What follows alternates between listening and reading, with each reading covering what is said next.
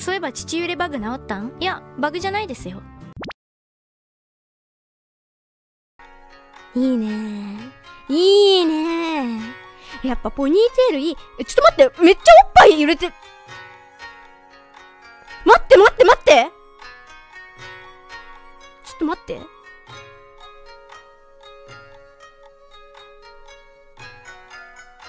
え。あれ私こんなおっぱい揺れてたっけ？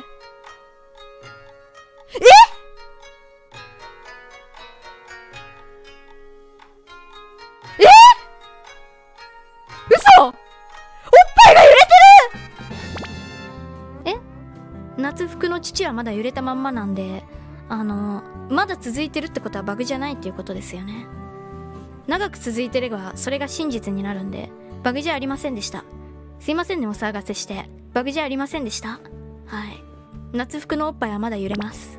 修正しろ。なんで修正しろって言うの？誰も得しないでしょその修正。誰が得するの？教えてもらっていいですかそれ。逆に。YouTube でバンの確率が少なくなるだけですよねそれって。私もうちょっとギリギリを生きていくんではい。